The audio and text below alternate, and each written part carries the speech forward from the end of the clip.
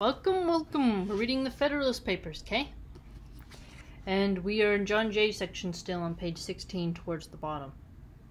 Let England have its navigation and fleet. Let Scotland have its navigation and fleet. Let Wales have its navigation and fleet. Let Ireland have its navigation and fleet.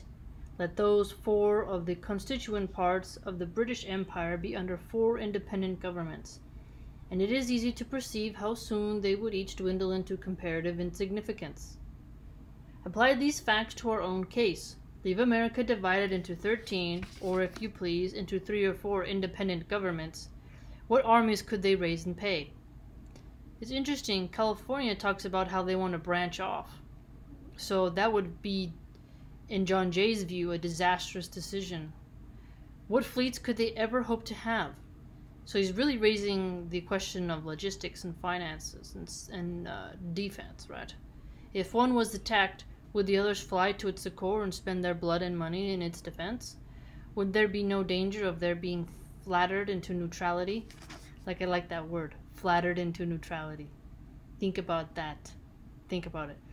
By precious promises, or seduced by a too great fondness for peace to decline, hazarding their tranquillity and present safety for the sake of neighbors, of whom perhaps they have been jealous, and whose importance they are content to see diminish. Look at that. Jealousy and happiness at the demise, wow, of their neighbors. Wow. Although such conduct would not be wise, it would nevertheless be natural. So it's contending to the human nature and some of the follies we have. The history of the states of Greece and of other countries abound with such instances, and it is not improbable that what has so often happened would, under similar circumstances, happen again. Ain't that the truth? But admit that they might be willing to help the invaded state or confederacy. How and when, and in what proportion, shall aids of men and money be afforded? Who shall command the allied armies, and from which of them shall he receive his orders? Who shall settle the terms of peace, and in case of such disputes, what umpire shall decide between them and compel acquiescence? Wow. He's really making the case for a unified force. Various difficulties and inconveniencies would be inseparable from such a situation, whereas one government watching over the general and common interests and combining and directing the powers and resources of the whole, would be free from all these embarrassments and conduce far more to the safety of the people. So notice how he said, uh, if you're divided into confederate type states, you know, you'll be seduced into uh, fondness for peace that actually will uh, make more chaos in the future. You can be flattered into neutrality. Instead, you need to combine your powers, pool your resources, and try to focus on the safety of the people. Interesting.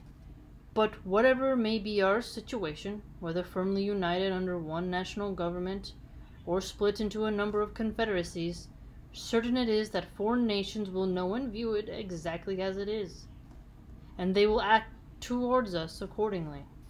Interesting. So he's noticing, regardless of what system you're going to employ, other nations are going to be watching you.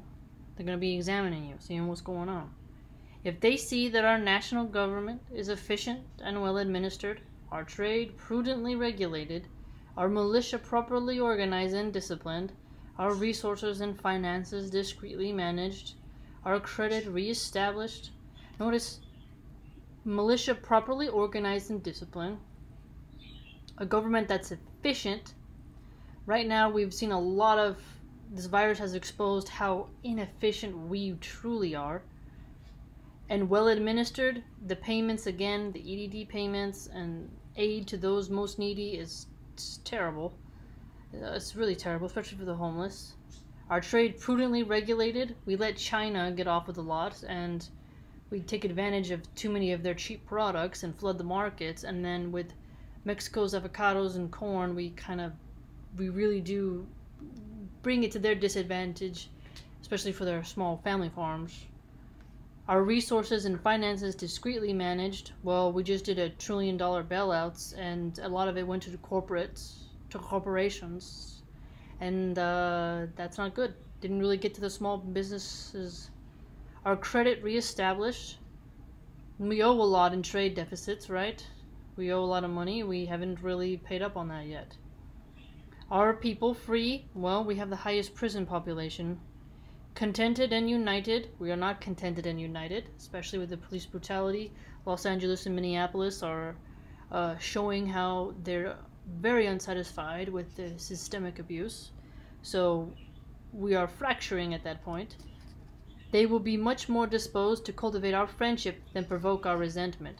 So ideally, John Jay saying that if we had, you know, good credit, we discreetly managed our finances, we had a well regulated militia, we were efficient in our administration and governments and such, uh, nations will want our friendship more than wanting to go against us. If, on the other hand, they find us either destitute of an effectual government, each state doing right or wrong as to its rulers may seem convenient, we kind of have that now. Look at the different states and how they're handling the virus and the death rates, and you know, Cuomo of New York sent sick patients back into old folks' home, which caused more people to get sick and infected. Whereas Florida didn't have as much uh, stricter measures, but they're fine. It's just quite interesting. Or split into three or four independent and probably discordant republics or confederacies. One inclining to Britain, another to France, and a third to Spain, and perhaps played off against each other by three. What a poor, pitiful figure will America make in their eyes? How liable would she become not only to their contempt, but to their outrage? Ah, so he doesn't want America uh, to be seen contemptuous or outrageous. And how soon would dear bought experience proclaim that when a people or family so divided, it never fails to be against themselves? Ah, so if you have all those things that he mentioned, you're going to even eat your own internal Internal eating. Wow. His next essay is titled The Same Subject Continued by John Jay. Queen Anne, in her letter of the 1st July, 1706, to the Scotch Parliament, makes some observations on the importance of the union then forming between England and Scotland, which merit our attention. I shall present the public with one or two extracts from it. An entire perfect union will be the solid foundation of lasting peace. Look at that. Perfect union leading to a more solid and lasting peace. It will secure your religion, liberty, and property. Remove the animosities amongst yourselves and the jealousies and differences betwixt our kingdoms. It must increase your strength, riches, and trade, and by this union the whole island, being joined in affection and free from all apprehensions of different interests. Free from all apprehensions of different interests. Look at today, we have a lot of different political interests that are really causing a lot of discord, right? Will be enabled to resist all its enemies.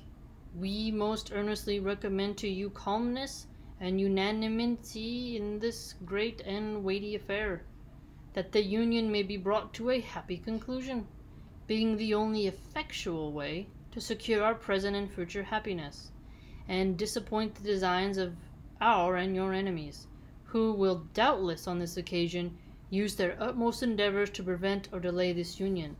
Ah, so this letter Queen Anne wrote to the Scotch Parliament is very relevant now, and I can see why John Jay used it. Your enemies, if they see that you are not really secure and not really present in your happiness, you're not going to be able to resist the enemies, and you're perfect for the plucking, right? It was remarked in the preceding papers that weakness and divisions at home would invite dangers from abroad. Exactly.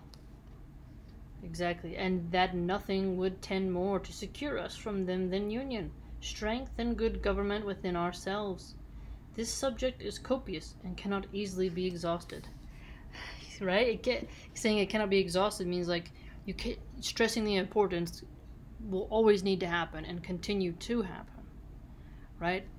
This is very interesting. Solid foundation, lasting peace, perfect union, and having those, your religion, liberty, and property, will be more protected and secured under such a system. Definitely a good point. Definitely a good point. That's why it's important to read these historical texts because you can definitely see how today those what he's speaking at, how those issues he's talking about apply.